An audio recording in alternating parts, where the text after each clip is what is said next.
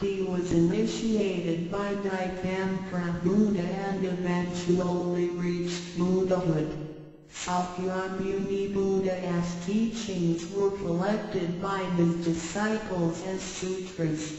The large collection of sutras have continued to guide sentient beings even till this day.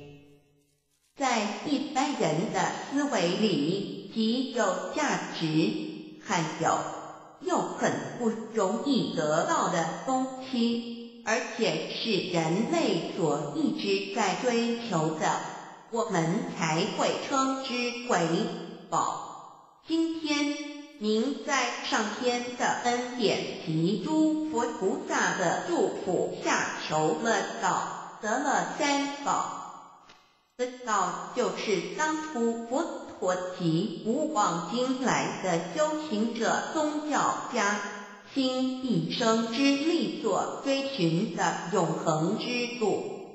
过去因为天时未至，道士单传独授，得道者稀，修行者常有，踏破铁鞋无觅处之憾。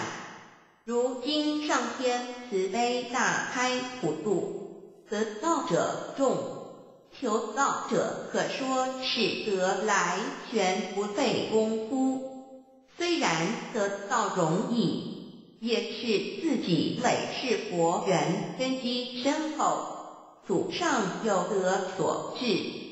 所以当您求完道时，大家都给您道喜。Generally.